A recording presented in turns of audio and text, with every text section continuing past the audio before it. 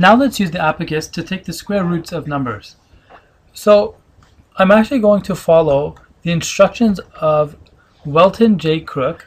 Uh, he explains how to take the square root and it says in the opening paragraph, the extraction of the square root of a number may be accomplished easily enough by means of the abacus, but the process is somewhat slow and tedious.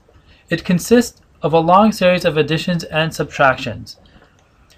So in case you cannot see the website, this is it. So feel free to go there and I'm going to follow all the rules.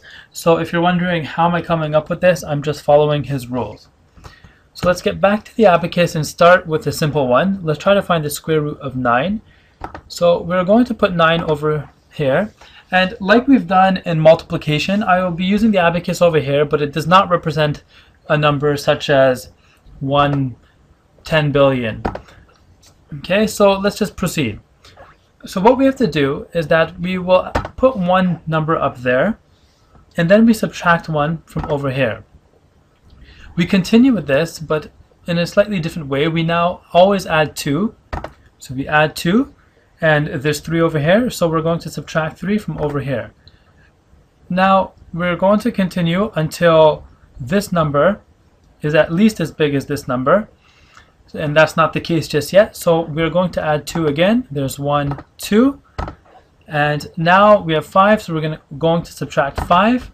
We subtract it, and all this is cleared out, which is good. So the final step is to add 1 and then divide by 2. So 6 divided by 2, as we know, is 3, and that is indeed the square root of 9. We are going to finish this off by doing one more complicated example. We are going to take the square root of 1156, so it's 1156, and the process is similar but slightly different. We are going to begin the same way by adding 1 here.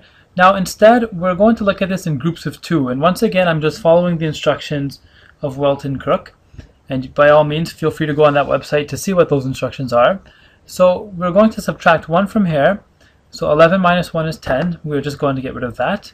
Now we add 2 over here, and we're going to subtract 3 from 10. So 10 minus 3 is 7. So we have 5, 2, 7. Uh, 3 is still not as big as 7, so we're gonna, going to continue to add 2.